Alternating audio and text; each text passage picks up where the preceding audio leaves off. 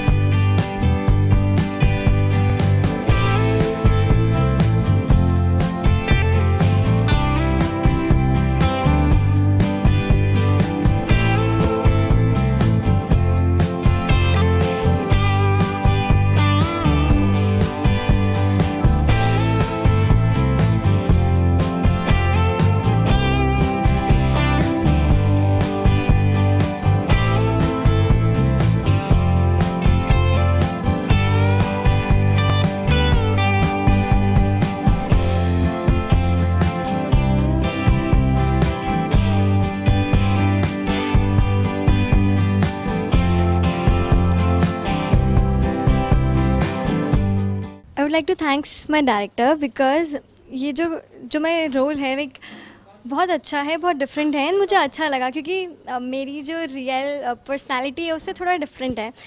तो मुझे बहुत अच्छा लग रहा है इसको करने में। तो पूरी टीम अच्छी है सब अच्छा है and I feel so good to be part of this film thank you so much sir Then first and foremost, thanks to Johnny sir to give me a wonderful opportunity, and I'm happy I'm the part of this project, and I can feel the wonderful project, wonderful team. So thank you so much. First of all, thank you so much, sir, for making part of the cinema, and I uh, love the script.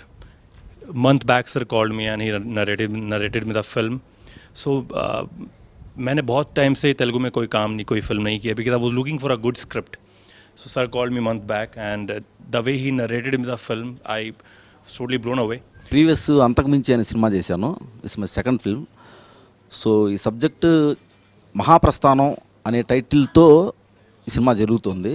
మహాప్రస్థానం అనేది చాలా పెద్ద title. Sri Sri గారు రాసిన చాలా అద్భుతమైన పుస్తకం. ఆ title పెట్టాలంటేనే చాలా ఆలోచించి యా న్యాయం చేయగలము అనే ఉద్దేశంతోనే పెట్టాను. చాలా emotional cinema. It's an emotional freak. Regular cinema అయితే కాదు. జనరల్గా అందరూ అలాగే చెప్తూ ఉంటారు ప్రతి ప్రెస్ మీట్లో. సో చాలా మంచి సబ్జెక్టు. రెగ్యులర్గా కాకుండా చాలా కొత్తగా ఆలోచించి చేశాను. సో బిలీవ్ చేస్తున్నా ఇది చాలా బాగా వస్తుందని మహాప్రస్థానం. ఆల్మోస్ట్ నేను మళ్ళీ సెట్స్ మీదకి కెమెరా ముందుకు రావడానికి almost it's been one and half year.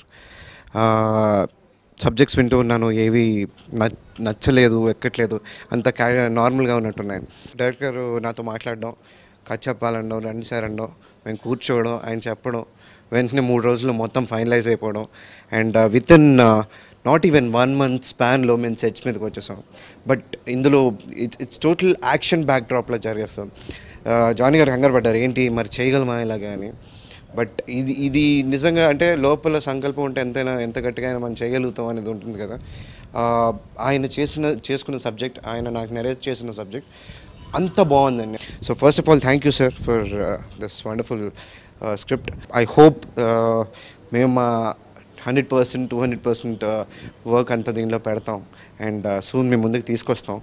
Uh, మా కష్టం అంతా పెడతాం. అండ్ మొత్తం టీమ్కి first of all congratulations and all the best చెప్తున్నాను. Uh, all